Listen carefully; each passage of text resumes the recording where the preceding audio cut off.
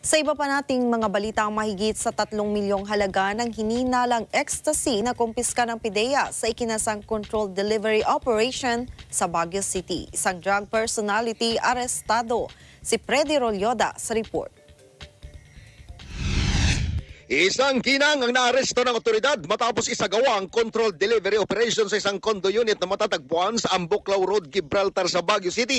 Ang sospek ay nakilalang si Elisa Milyari I. Aguirre, 52 taong gulang, isang drug personality at residente ng Quezon City.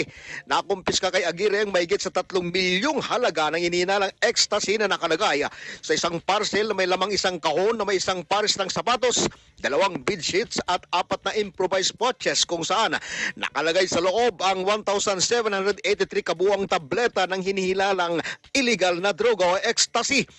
Ayon kay Investigation Agent Officer 3 Gerald Javier, team leader ng PDEA NCR, na ipasailalim muna sa BOC custody ang naturang parcel na nasabat sa naiyan nitong nakalipas na mga araw.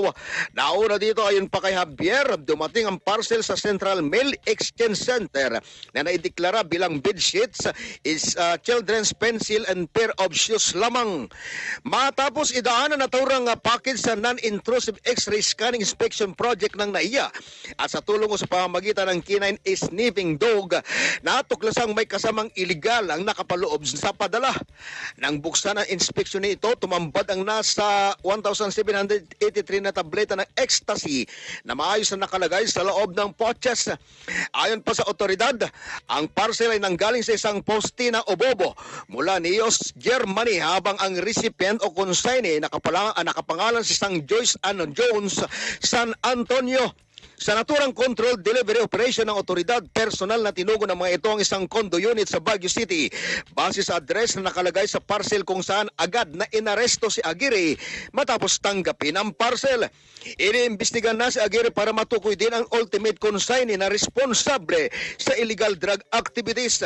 Pinasalamatan naman ng PDEA NCR ang mga miyembro ng PDEA CAR, BCPO, NAIA Agency Drug uh, Interdiction Task Group at Customs Anti-Illegal Drug Task Force o KIDTF dahil sa matagumpay na illegal drug operation sa lungsod ng Baguio. Para sa Eagle News, Pedro Yuda Willib, and ang Thursday Times.